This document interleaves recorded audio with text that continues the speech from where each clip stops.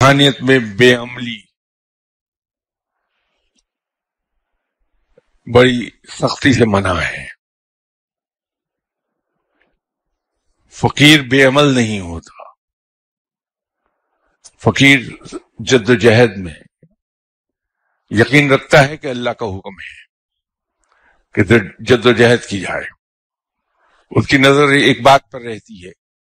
कि इंसान को वही कुछ मिलता है जिसके लिए वो कोशिश करता है। तो फकीर हर वक्त मुजाहिदों की तरह कमर कसे रखता है अमल के लिए। वो हाथ पर हाथ धरे, बैठता नहीं है कि गैब से कोई मदद आएगी, मेरे काम समझ जाएँगे। वो अल्लाह पर भरोसा रखता है कि मेरा रब अच्छा करेगा। अल्लाह मुझे इन मुश्किल से निकाल लेगा। मुझे अपनी ड्यूटी करनी है जो रब की तरफ़ से मुझ पर फ़र्ज़ है कि मैं कोशिश करता रहूँ। वो कोशिश करता रहता है।